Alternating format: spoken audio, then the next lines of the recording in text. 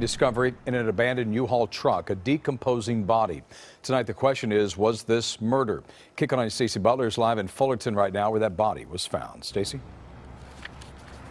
Uh, Jeff, when workers finally located that missing U-Haul on an Anaheim street, they brought it back right here to be processed. And this is where they got the surprise of their lives. A body tightly wrapped in plastic, cardboard, and duct tape is carefully loaded into the Orange County coroner's van on its way to the OC crime lab tonight.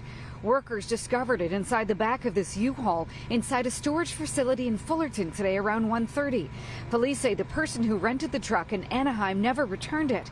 U-Haul tracked it down and found it abandoned on a street in Anaheim. After they recovered the truck, they brought it here to the Fullerton location to do an inventory of the contents of the truck during that inventory search, they discovered what they believe to be human remains, and it has been confirmed that, that, it is human remains. Wearing masks as they examined the back of this U-Haul, investigators carefully approached the bizarre crime scene.